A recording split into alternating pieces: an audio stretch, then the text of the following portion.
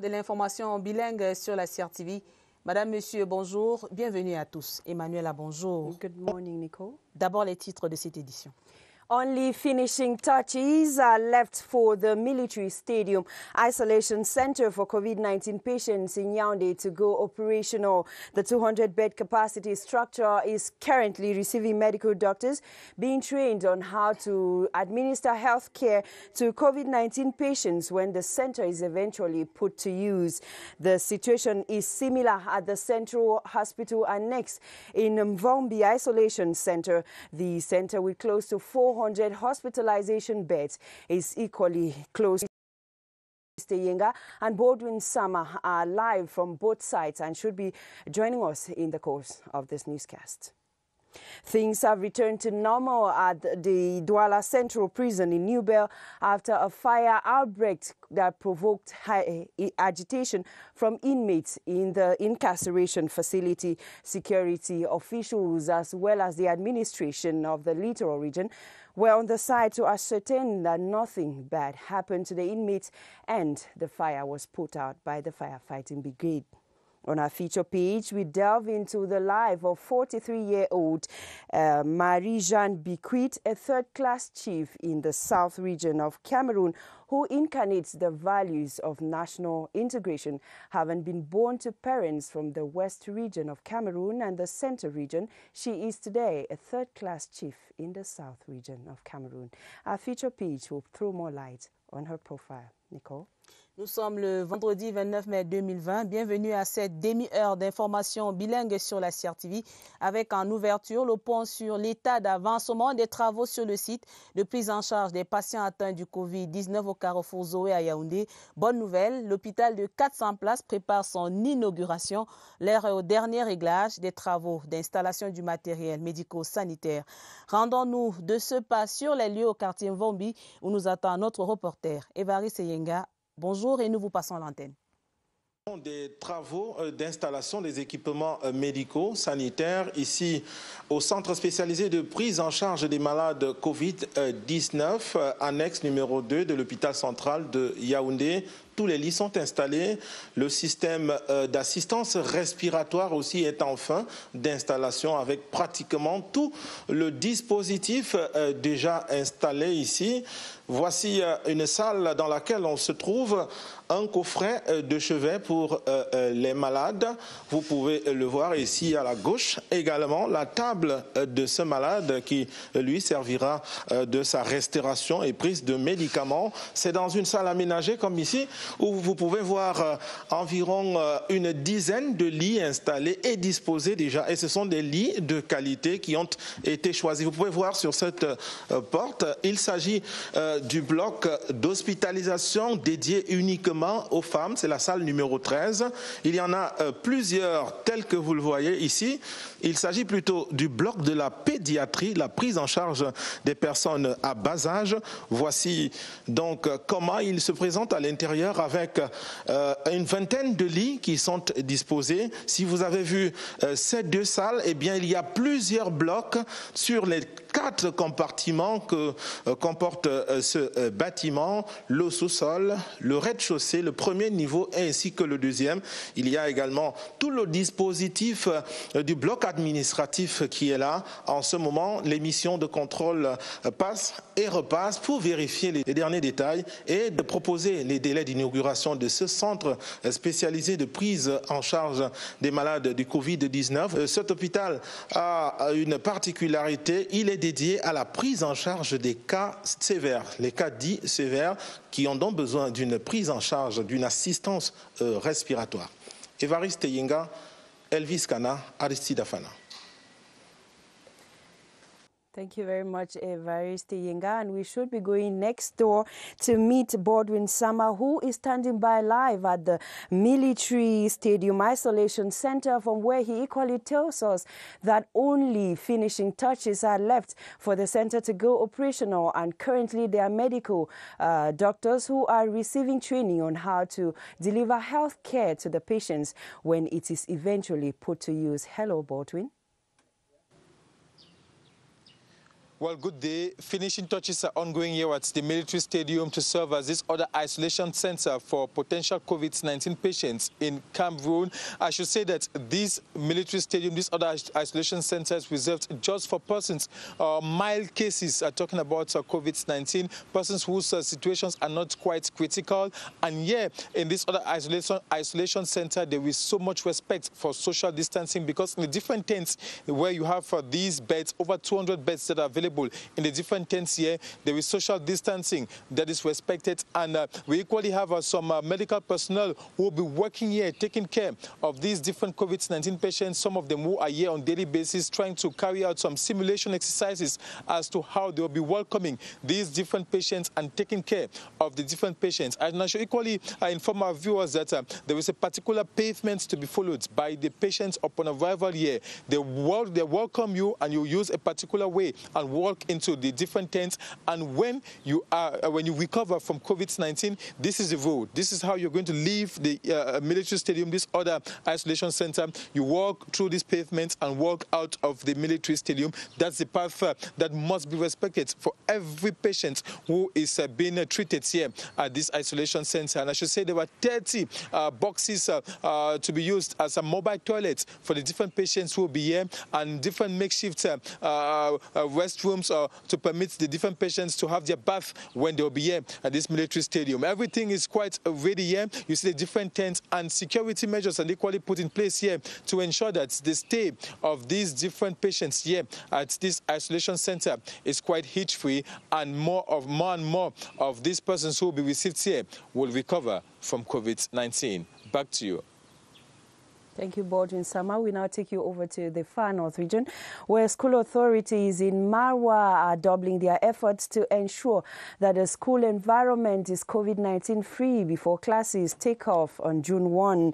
Classrooms have been disinfected, uh, hand washing points installed, and hand sanitizers as well as face masks acquired for the teachers and the pupils. Details with uh, Sylvester Temken from CRTV Far North in Maroua.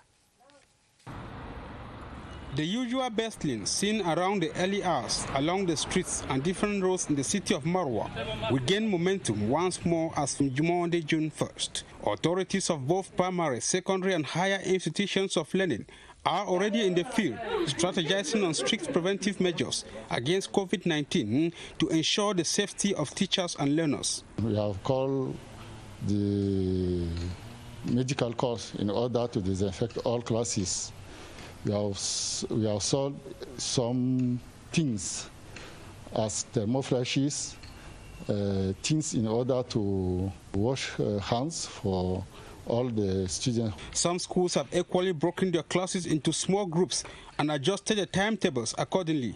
This to make sure the rule of physical distancing is applied the school, through the uh, Department of Industrial Chemistry, is already working a lot on how they're going to make available for teachers, you know, hand sanitizers. Instructions have been made to all teachers to know that they have to have a maximum of 24 students in class, not more than 24. With the assistance of the Maroua City Council, these infections have been earmarked in most of the institutions same line, educational stakeholders in the Southwest region are making things ready for their pupils in the different school establishments as they get set for June 1. The Ministry of Secondary Education has boosted their efforts in this line by providing sanitary kits as well as hand sanitizers and face masks to the different school establishments in the Southwest region, as Tanjong Lewis Agbo now confirms. As schools resume next Monday after an unusual break due to the coronavirus pandemic, educational stakeholders in the Southwest region are fine tuning strategies to ensure school campuses are conducive for learning and free from any coronavirus infection. The Ministry of Secondary Education has provided sanitary kits like cartons of soap, hand sanitizers, disinfectants, and spraying cans to all the six divisions in the region. We have been thinking about it, you know, how is it that these schools are going to start um, in this condition in which we are, that we all know of. But the minister, in a motherly style, um, surprised us yesterday. All the six divisions of uh, the region are going to benefit While symbolically handing over the items to the various divisional delegates, Dr. Hannah Tondembua urged them to use the kits for the safety of all are sundry. Every stakeholder, the students, the parents, the teachers, and the school administrators should all be alert and remember that COVID 19 is actually around us and do, they should everything to prevent it. Some learning institutions were inspected to see how prepared they are to kick off with learning in line with government's prescriptions. All this to ensure the coronavirus is far from the school milieu. Merci de vous joindre à nous sur la CRTV. Dans le nord-ouest, les élèves des établissements scolaires à régime interne retournent déjà dans les dortoirs. Dans les collèges et autres lycées de la ville de Bamenda, le dispositif de riposte contre le coronavirus est évalué à 95% Le délégué régional des enseignements secondaires Roland Ngwa l'a déclaré au terme d'une visite dans les établissements secondaires là-bas où il a procédé à la remise des dons du chef de l'État, Paul Biya, pour barrer la voie à la propagation du coronavirus. Le point de cette descente sur le terrain avec Augustin Guizana.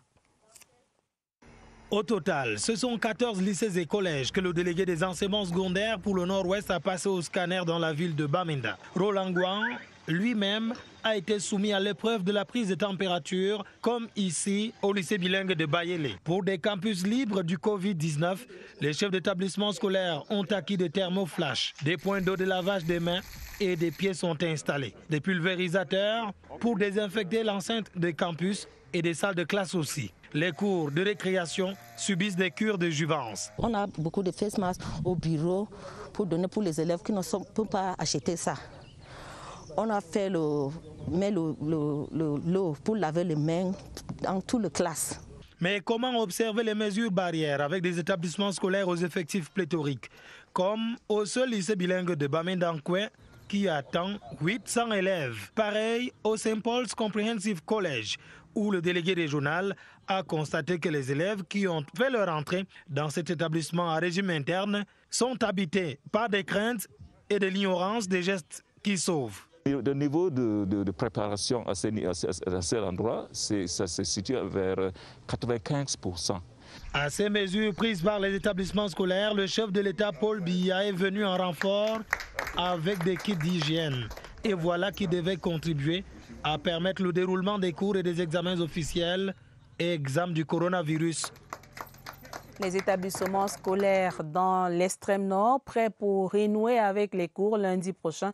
Assurance donnée par les responsables en charge de l'éducation dans cette région. Les actions allant dans le sens de la sécurité sanitaire des élèves et encadreurs sont prises là-bas pour une dernière ligne droite sans Covid-19. Les constats de notre reporter à Marois, Alexis Guidjarton. Les établissements scolaires de l'extrême nord n'entendent pas déroger à la règle. À Marois, par exemple, toutes les dispositions prises par les responsables à divers niveaux le confirment. Nous sommes prêts pour la reprise de cours lundi prochain. La rentrée des enseignants a déjà eu lieu depuis le 26 mai. Ces enseignants euh, vont séjourner dans les écoles jusqu'à samedi prochain, le 30 mai, pour, euh, par de par un atelier de recyclage à l'effet de recenser euh, tout ce qui n'a pas pu être vu par les élèves et de développer des stratégies pour voir comment couvrir le programme. Au secondaire, la nouvelle est davantage rassurante au regard de ce qui se fait au sein des établissements. Les emplois de temps ont été déjà faits, les salles ont été nettoyées, désinfectées.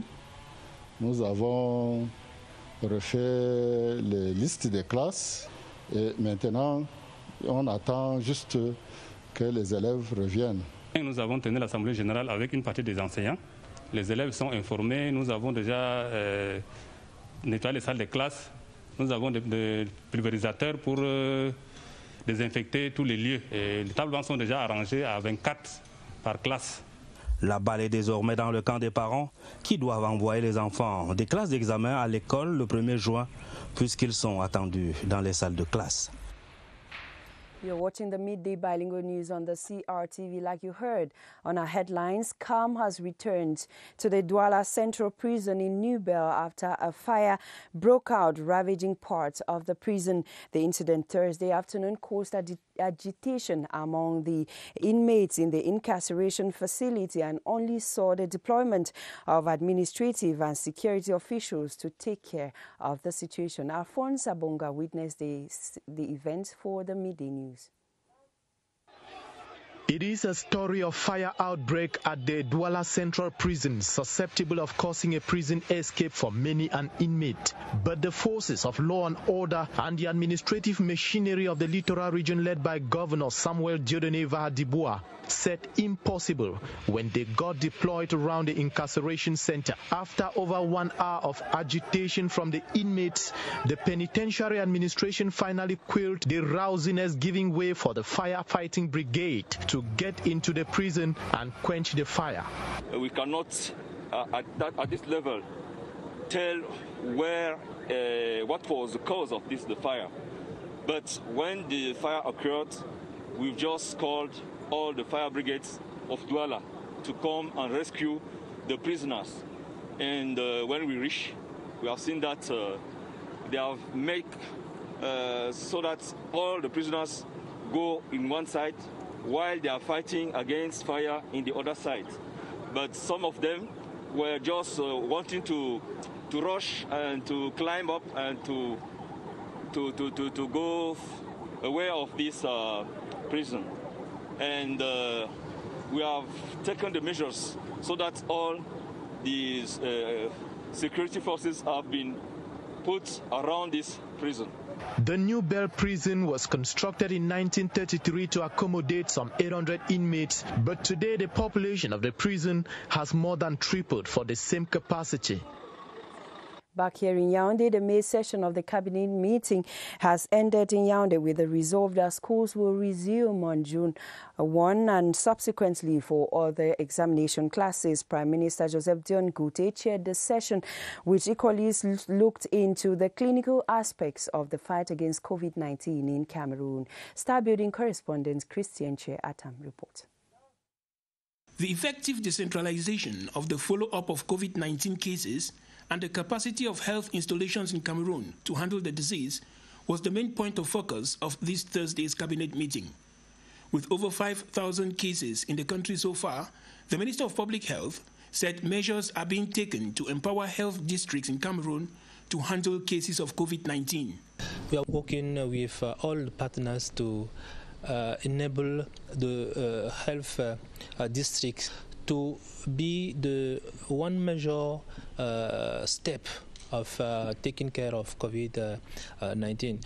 Uh, we know in our region we have the specialized center created by the head of state, but in in, the, in our district, we have uh, some facilities to take care of uh, uh, COVID. Coming barely four days to the indicative date of resumption of schools in Cameroon, the cabinet meeting for the month of May also assessed the level of preparation at the level of schools and universities. Very prepared. I don't think that anybody should be uh, uh, should worry about the preparation. Those who are going to start on the first are the back class and GCE A level. Then you have about three days on the fourth. That's when the rest of the people come in, just to allow for us to see and make sure that there is no error. We have uh, measures to to give our students uh, the, the, necessary uh, material to protect themselves even though we give the masks to the parents, or to the government will give uh, another volume of masks to all the schools in the division. The application of relief measures on enterprises and families also came under review during the meeting. All the nine measures have been implemented, and you know that uh, uh, some of the measures uh, are concerning the taxes that have to had, that had to be paid, and uh, the, the, the, the, the head of state has decided that some the payment of some of the taxes should be postponed. This is what we have done. Prime Minister Joseph Dion Ngute has instructed members of cabinet to be meticulous in applying measures against COVID-19. He has called for particular attention on the respect of opening and closing hours of bars in the country. Joseph Dion Ngute has also instructed health teams to be more compassionate in the way they handle the remains of victims of COVID 19 in order to show respect for both the living and the dead. Dans l'actualité ce vendredi, c'est prescription du Premier ministre chef du gouvernement au terme du conseil de cabinet du mois de mai hier à Yaoundé sur la pandémie du coronavirus et la reprise des classes de 1er juin. Joseph Dion Gouté appelle l'accélération des travaux d'aménagement et d'équipement des centres de prise en charge des malades, la mise à la disposition des établissements scolaires des kits sanitaires pour la protection des élèves et des enseignants.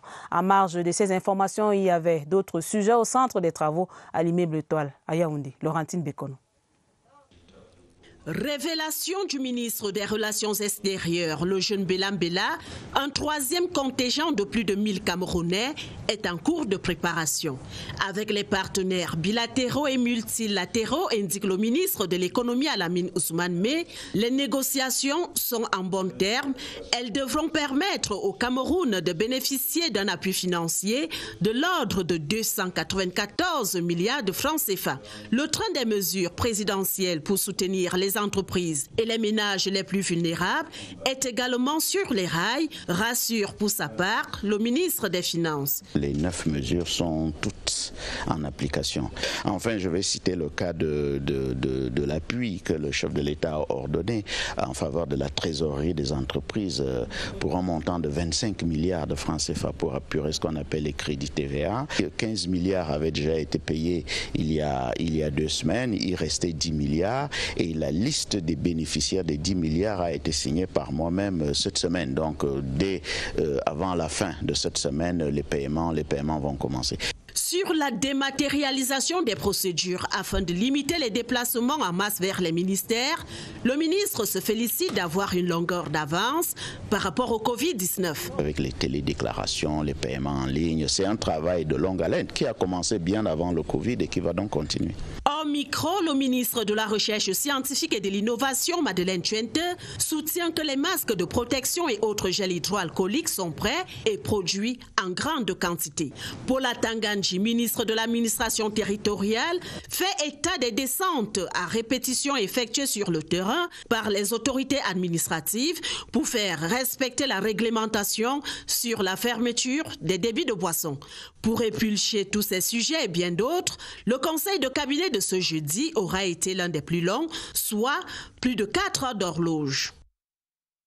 Autre volet de l'actualité, l'Agence de régulation des marchés publics accueille son nouveau PCA. Ce jour à Yaoundé, Ali Oudeoa, nommé par décret du président de la République le 11 mai dernier, est installé en ce moment même à l'hôtel Hilton. L'ancien directeur des affaires générales de l'ARMP a de nombreux défis à relever dans le secteur de la régulation des marchés publics au Cameroun. Son portrait ici brossé par notre reporter Michel Renaud, Oranja. Depuis sa nomination à la suite du décret présidentiel, le domicile d'Aliou Dewa, président du conseil d'administration de l'ARMP, ne désemplit pas. D'ailleurs, les appels téléphoniques depuis cette nomination font également partie du quotidien de ces natifs de Mayo Darlé, dans la Damawa. Mais je voudrais d'abord commencer par euh, dire merci au Tout-Puissant, Dieu, par qui tout doit être possible. Au président de la République, qui a bien voulu porter son choix sur ma modeste personne. Marié et père de nombreux enfants, l'administrateur civil principal, âgé de 58 ans, mesure le poids de ses nouvelles responsabilités. Président du conseil d'administration, ça veut dire qu'il y a les membres de ce conseil d'administration, avec la direction générale de l'ARMP et son personnel. Nous allons nous mettre au travail pour relever le défi, le défi qui est dans le secteur de la régulation des marchés publics. Petit d'expérience, celui qui officiait il y a deux mois comme directeur des affaires générales publiques est connu pour sa loyauté. Il a été mon collaborateur, mon chef de service pendant près de six ans au contrôle provincial des finances où euh, il s'est manifesté par sa compétence, par sa disponibilité. Commandeur de l'ordre de la valeur, Alou Dewa est sur le plan politique membre du comité central et président de la section RDPC, Mayou Bagnosan. Les femmes dites vulnérables dans les régions de l'Ouest et du Centre désormais outillées pour défendre leurs droits en matière des terres. Elles sortent d'un atelier de formation de deux jours sur les questions foncières à Bafoussam. Ce sont des femmes veuves qui procédaient à un partage d'expériences. Travaux suivis par notre reporter Christelle Kémonier. 30 leaders féminins venus de l'Ouest et du Centre sont sensibilisés et outillés pour la défense des droits fonciers des femmes à travers l'animation et la gestion d'une plateforme. Ceci pour créer une chaîne de solidarité au bénéfice des femmes victimes de violations de leurs droits fonciers. On s'est rendu compte que dans ces deux régions, il y a un déficit d'accès des femmes à la terre. Nous mettons ces femmes en réseau pour qu'elles puissent échanger, partager leurs expériences. Euh, il sera question d'une plateforme à travers laquelle les cas de violation foncière des femmes vont être dénoncés. Pendant deux jours, la formation fera le lien entre les connaissances dispensées et les questions relatives aux droits patrimoniaux des femmes. Je suis très très satisfaite parce que nous allons sensibiliser les femmes à savoir comment se, se mettre en groupe pour pouvoir gérer leur, leur association, leur réseau. Le projet Mobilisation communautaire et plaidoyer pour la sauvegarde des droits fonciers des femmes et veuves de l'Ouest et du Centre amplifie la voix des femmes et veuves pour leur permettre de revendiquer leurs droits à la terre. We stay in the West region where two suspected traffickers in human body parts, including a full skeleton, are gnashing their teeth behind bars at the Gendarmerie Brigade in Noun in the West region. The operation that led to their arrest was carried out with assistance from the Last Great Ape Organization, LAGA. Go Henry has more of the Foumban Gendarmerie Company, Captain Dawanga Sirai, it was on May the 20th that one of the suspected culprits, 30-year-old Amadou Tijaninjum, was apprehended in Foumban town in possession of this bag containing human body parts, including a full human skeleton. Among the bones was a female head, which had cornrow hairstyle on it. When taken to the Foumban Gendarmerie Brigade, the suspect said they wanted to sell the skeleton to the sum of over 30 million CFA francs. The operation that was carried out with assistance from the last Great Ape organization, LAGA, revealed that the bag was from 28-year-old Puhenzen Radifatu, who was arrested at Baigom near Foumban. She revealed that the full human skeleton was left by her brother, Muhammad, who is somewhere in QC to look for buyers. The suspects have said they have contacts in Gabon. The two, Amadou Tijaninjum and Puenze Radifatu, are under custody in Foumban as investigations continue. And now our future page in this edition of the Midday News, we delve into the life of a 43-year-old Jean Marie Jeanne Biquit, a third-class chief in the South region of Cameroon. She incarnates the values of national integration given that she was born to parents who hailed from the West and Center regions respectively, but today leads a third-class chiefdom in the South region uh, her portrait with uh, reporter Derek Allen. At the New Bell Quarter in Ebolowa lives 43-year-old third-class chief, Her Majesty Marie-Jeanne Ada Yumbi, wife to Mr. Biquit.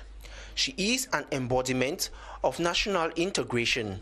Mon papa était Bamileke. My father is an indigent of the West region and my mother from the South. My husband is a Banen from the Center region. About two years ago, her family-in-laws of Banen origin and founders of the New Bell neighborhood conferred on her the title of third-class chief of New Bell. Her popularity and towards people influenced my parents' choice, for they say I'm too hard. These qualities and the support from the inhabitants have left Mr. Biquit, with whom she has been married for 20 years now, no choice but to enjoy the fruits of their union. She is equally a businesswoman and speaks diverse vernaculars, which has permitted her to get close to the people and have eased communication as well.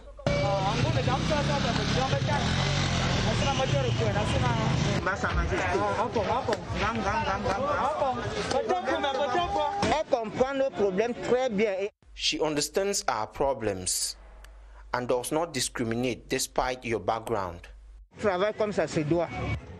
Her soft spot for humanitarian actions led to the carrying out of sensitization campaigns against COVID-19. I need to sensitize my people. If I don't do it, they may contract the virus, which is not good for the community. A businesswoman, volunteer, wife, mother, and more importantly, third class chief, these multiple functions have permitted her to demonstrate national integration. Voilà qui me fin à cette édition du 12h sur la CRTV. Madame, Monsieur, au nom de toute l'équipe de production, je vous dis merci d'avoir suivi. Excellente journée sur nos antennes. Emmanuela, bon début de week-end. Have a nice weekend, Nicole. Thanks for being all along the week with us. We shall be back on Monday, God willing. Until then, keep safe. COVID-19 is real.